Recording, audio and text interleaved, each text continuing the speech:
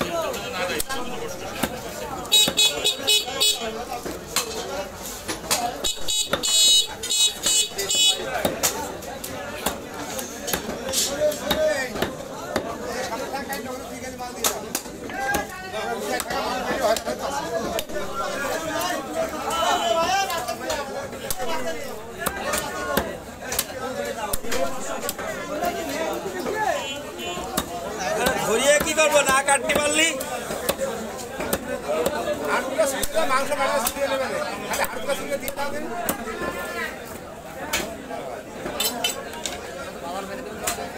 তাতে গায়ে গরু আগে সব ভাজিয়ে দেবো খালি ভালো